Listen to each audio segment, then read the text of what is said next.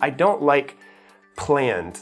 I don't like, I like some structure, but very like movable structure. Um, and the only reason why is because I find that my greatest experiences have come kind of at spur of the moment. Something happens and I just go, yes, let's go do it. And, uh, and so I love the unknown. We're, we're about to take off and go to, to Rome in four days and we have a place where we're living for a month and then after that, there's just no idea. We're gonna go somewhere in Europe. We might stay there, we might go to other places, but we have six months to fill. The first month is planned. We have an Airbnb. After that, something's gonna happen and we'll just kind of move around and go with it. Uh, but I, I love the unknown.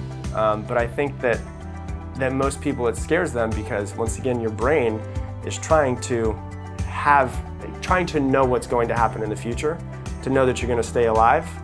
For me, once again, I just try to, I try to turn that part of my brain off and go, let's just go with it because some of my best experiences in my life were never planned in the first place.